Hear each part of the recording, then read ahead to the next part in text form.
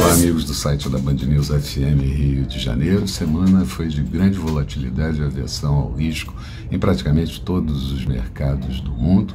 E por trás disso, claro, a percepção de desaceleração da economia global, mas também alguns problemas específicos.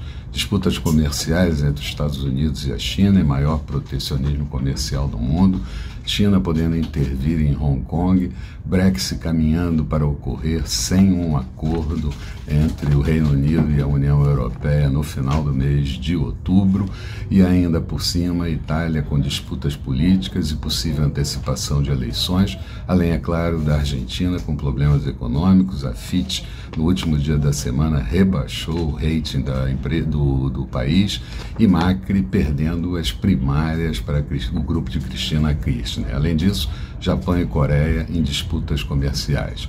Bolsonaro apoiando Macri pode complicar um pouco as relações com o terceiro maior parceiro comercial do Brasil.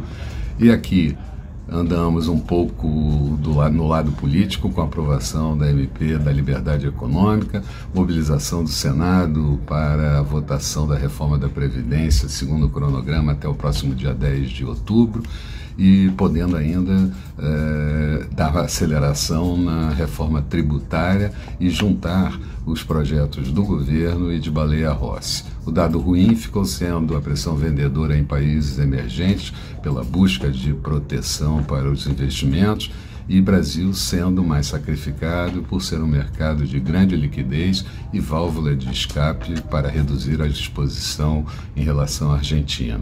Mercado também afetado pelo vencimento de opções que ocorre na próxima segunda-feira, dia 19, e venda de estrangeiros pressionando bastante na semana. Até o último dia 14 de agosto saíram 8,4 bilhões de reais e no ano já são quase 19 bilhões de reais.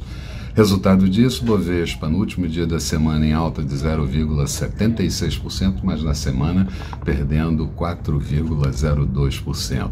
Dólar por aqui fechando a semana com uma alta de 0,33%, no último dia cotado a R$ 4,00 e na semana como um todo uma valorização de 1,6%. A próxima semana traz indicadores de inflação, traz a ata da última reunião do Fed que elevou, que, que reduziu a taxa de juros e outros indicadores que certamente vão mexer com os mercados, mas o lado político dos Estados Unidos e por aqui as discussões sobre reforma tributária e reforma da Previdência certamente vão dominar. Mas isso é papo que a gente bate na segunda-feira. Boa noite a todos, bom final de semana e até lá. A Band News FM está em todas as redes. Não deixe de se inscrever e seguir nossos canais.